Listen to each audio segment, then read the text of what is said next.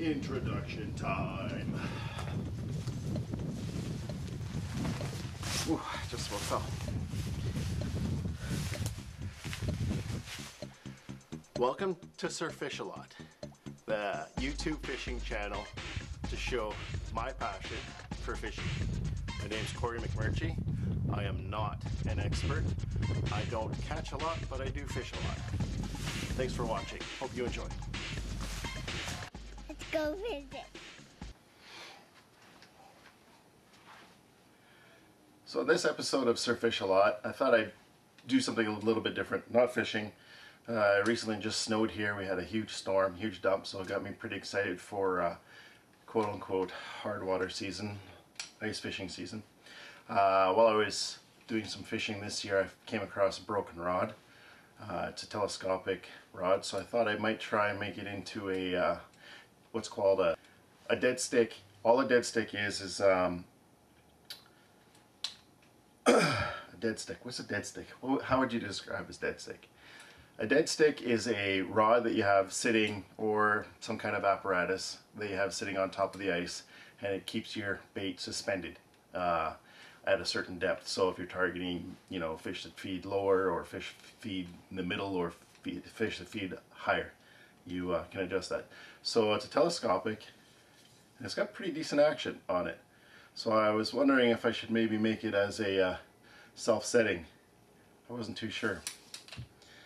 It's got a reel, came with a reel. It's not, I don't really like this kind of reel, you know. It's probably like a Walmart special $10 rod, which works great, you know. But uh, I was really interested in the telescopic aspect of it, so having a tip up that's a little bit longer, get a little more action. So uh, the handle, because it was broken on the end there, I gotta make my own handle, and that's what the wood's for. I'm gonna make a handle out of wood, and I think I'm gonna make a detachable base. Looking at the uh, iTip Up Pro, I like the idea that you can um, have your rod in there and then move it. So I'm gonna do something similar to that, but I think I might have the option to make it uh, self-setting as well. So the first thing I'm gonna do is I'm gonna have to cut that into a piece suitable for a handle. So that's what we'll do next. Okay. Now as you can see I don't really have a shop to work with. I got a basement so I'm going to use that. I do have power tools but it, I don't want to make a lot of dust. Don't want to do a lot of cleaning so hand saw. So what I'm going to do first to start off with for the handle is I'm going to take this stuff isn't very thick. It's about three quarters to an inch thick. I want to double that so I got something that I can carve for the handle. So what I'm going to do is I'm going to take a chunk of this, going to cut it in half, uh, cut it lengthwise here, and then I'm going to take another piece and then glue them together, let that set up, and then that'll be the beginning blank of my handle. Um, so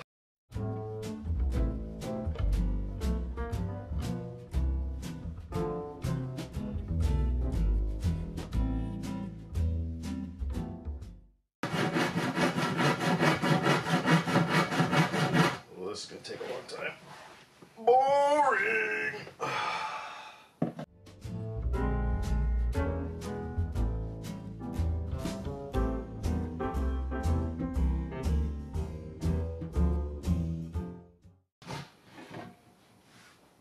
This sucks. Power tools. Tim the Toolman Taylor.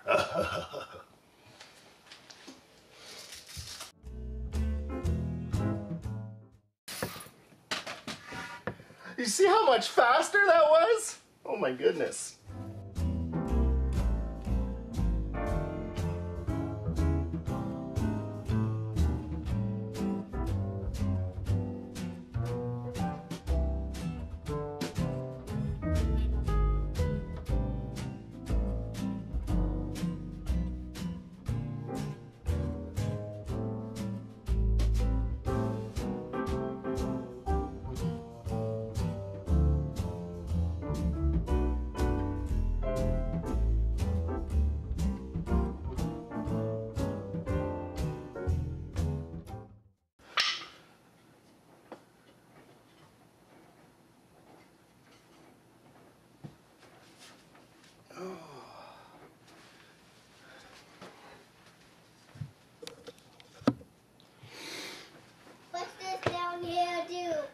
Right, so there's the start to our handle. I got two chunks.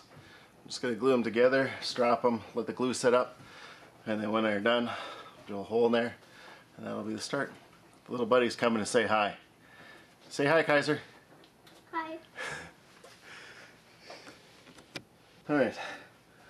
Couldn't find a uh, popsicle stick or anything, so what we're gonna do is glue these two pieces together, clamp them, using just carpenter's glue. 25 minutes. Stay clamped. Should be good to go. Good to go. Good to go. Good to go. Got my little helper here. So I'm not gonna go too crazy with the glue, or maybe I am. I always do too much. Okay, so I'm just gonna. Hey, buddy. You gotta come back here if you want to say hi. Stand over here by me. Right there. Come and say hi. Hi. There you go. Okay, so we're just gonna. well, Maybe I should do this up here so you guys can see. Do, do, do, do, do, do, do, do. Spread the glue around. Why did you? Make sure we got a nice even coat. Wow. Good I adhesion. Oh, there's a in here. That's a big one. Yeah. Hmm.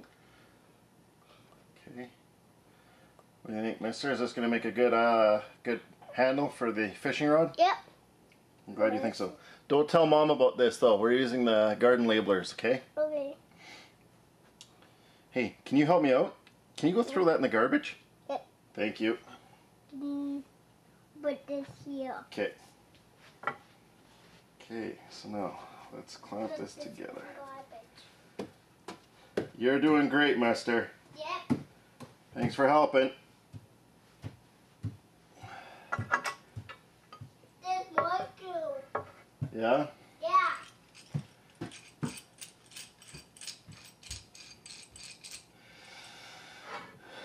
Don't really like how many clamps I've got, but we'll make do with what we got. Thanks, buddy. Welcome. Now, I don't have a wood lathe, so I'm going to be doing a lot of this work by hand. Um, I think my next step is I'm going to sand all of my edges and make sure it's really nice and square. And then I'm going to go from there. Um, so what I'm thinking about doing is uh, doing a dovetail on the end here so that when I slide it into the base it's uh, nice and sturdy. And then so I'll have the handle there then I'll have the rod coming out of a hole. I'm just gonna hand drill the hole. But I think I might let the glue set up a bit longer. The recommended it was 25 minutes but I can see here that the glue isn't really fully fully set up it's uh well you can tell. You can see here maybe where it's still that light yellow color. The glue hasn't quite set up yet but the darker glue area has. So probably gonna let that set up quite a bit more till it's fully done. Might even have to leave it overnight to keep working on it I also don't have a drill press. Drill press would make uh, drilling the uh, top hole for the rod to go in quite easy. So I'm gonna, just gonna have to use a cordless drill because that's what I got. We're off to a pretty good start. I'm pretty happy with it. Now, one of the base things that I was thinking of doing was uh, doing a V shape.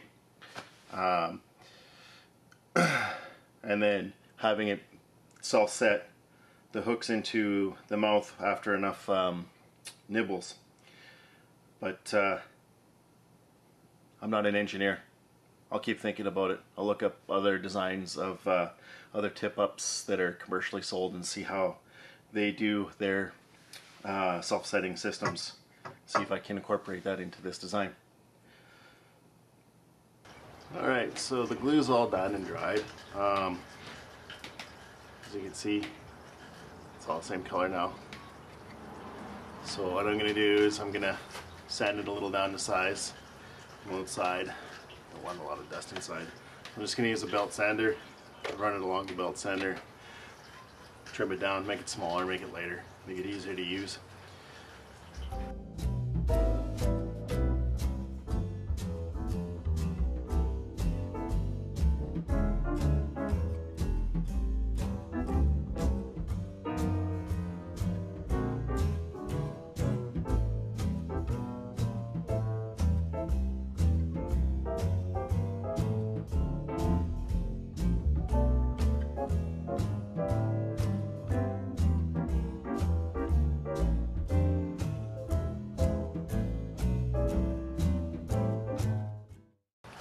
Alright, so got it all sanded up here. You can see.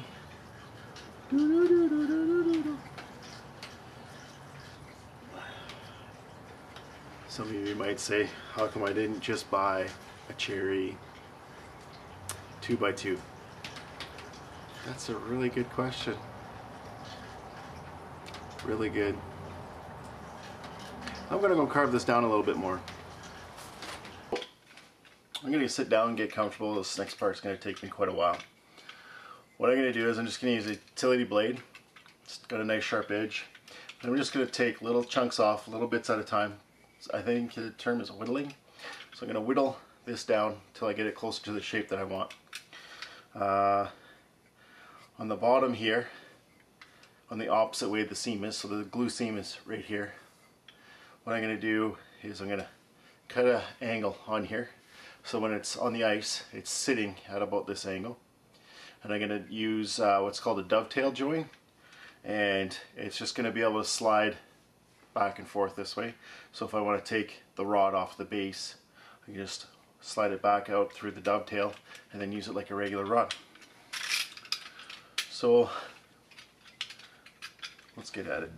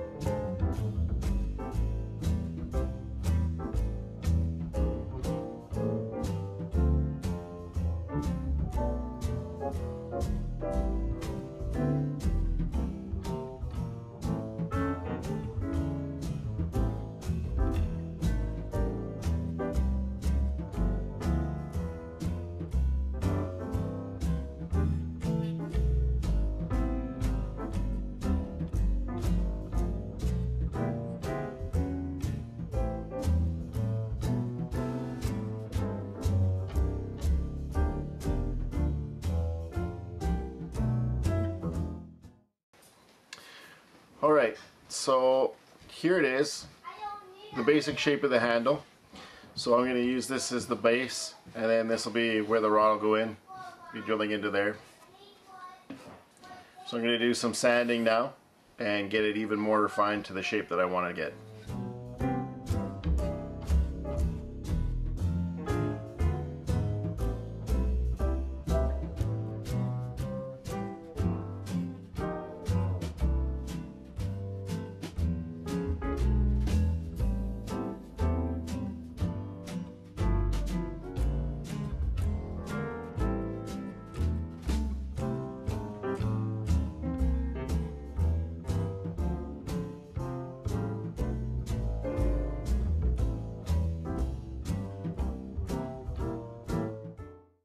Alright, so I got uh, some more sanding done.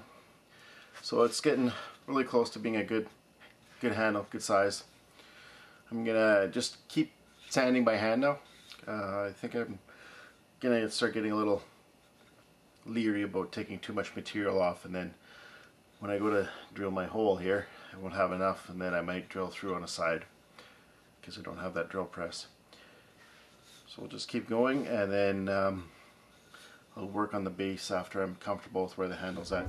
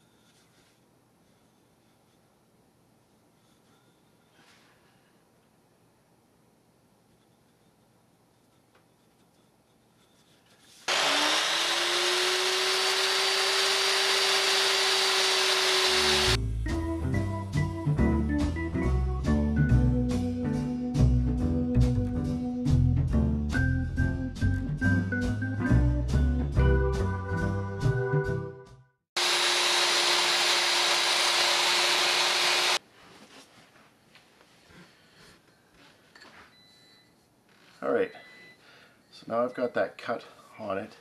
It's feeling a lot lighter, which is good.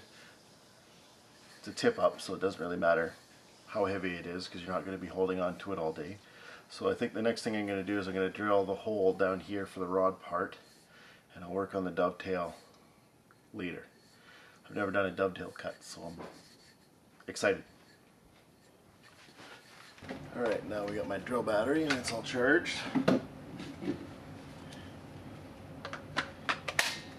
Drill the hole. Now, normally I would prefer to use a vise. Get this guy sitting there in a vise, so all I have to do is concentrate on getting the drill down. So we're just gonna hand bomb it and see how we do.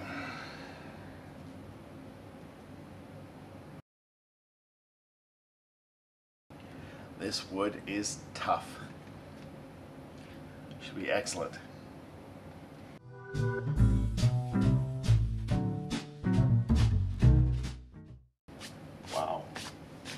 This thing's gonna last forever. Alright, same task, different day. Trying to drill a hole for the rod to go into.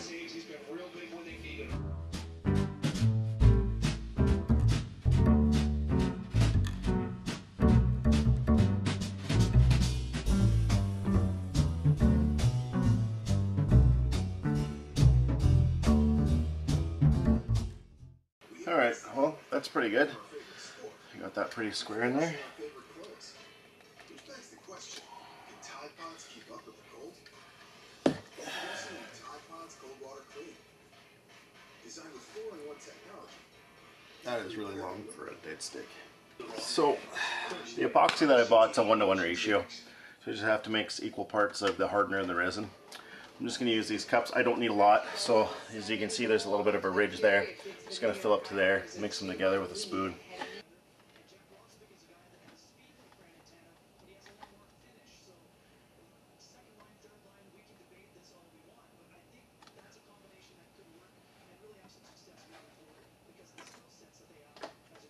We always love talking about Manitobans. That goes back from Barry Trotz, not the only Manitoban on the New York Islanders.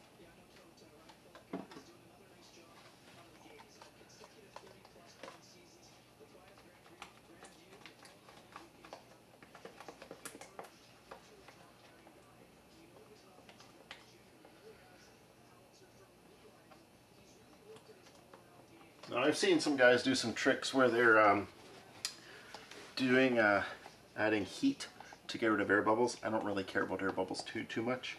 Just as long as I get a good solid adhesion and the rod sticks into the handle. That's what I'm concerned with. So I got it mixed. I'm just gonna spread some out on here. Quite a bit more than what I'm going to need, but that's okay. I didn't really have any other choice other than these cups here. So got a good. Okay, so there's the bottom.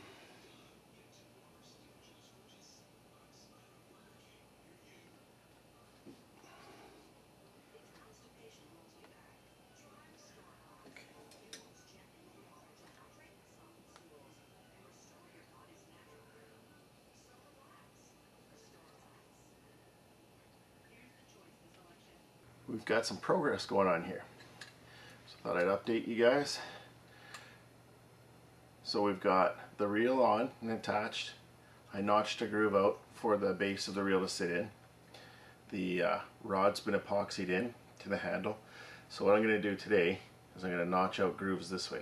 I know I said I was going to do a dovetail down the middle, but I got to thinking about it and with the action that I want to be able to slide back and forth like this, thought something like a uh, dresser drawer pulling out would be a little bit better.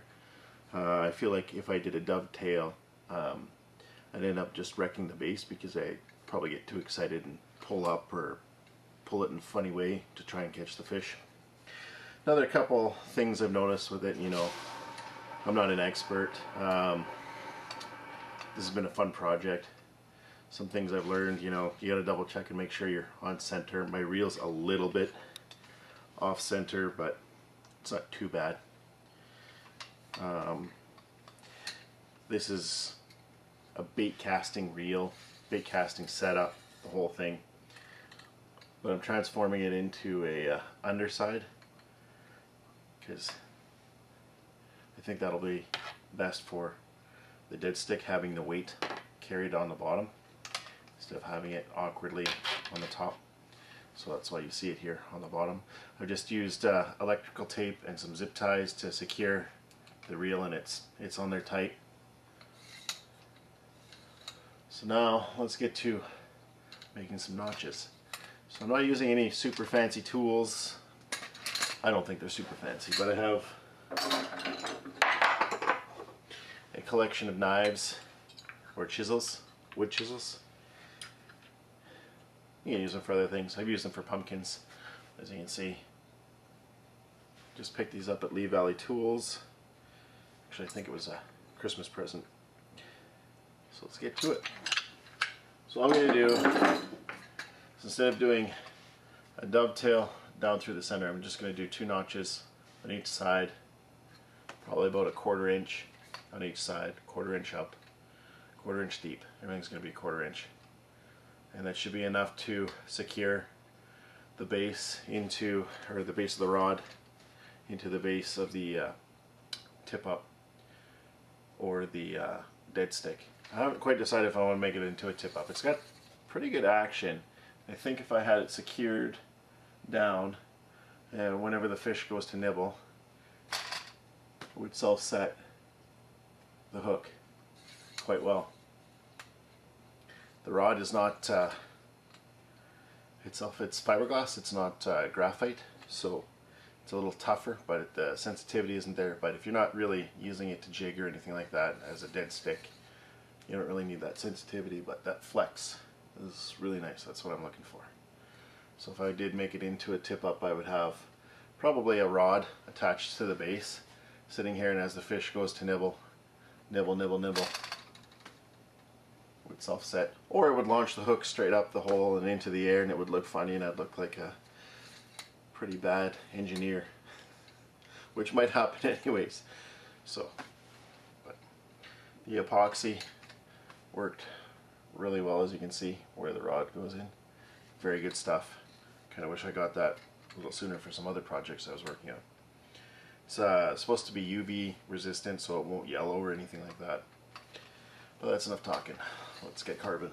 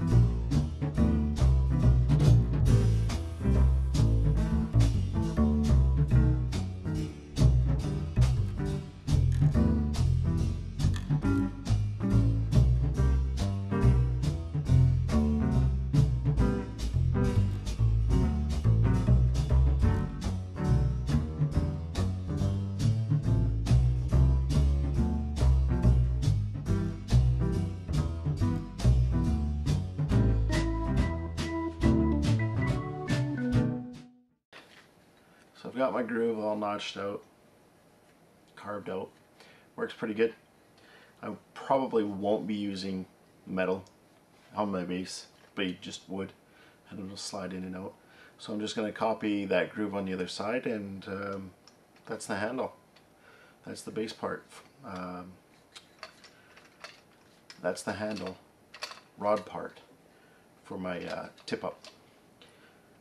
Hope you enjoyed the video. I'm just going to continue that groove on the other side. I don't think you guys need to see that, so that's part one. Part two, I'll be building the base that this is going to slide in and out of. So thanks for watching. Have any comments? Let me know what you think. I'm excited to see how it works, or if it does. Can you say, please subscribe, Please like, like, like, comment? like, comment.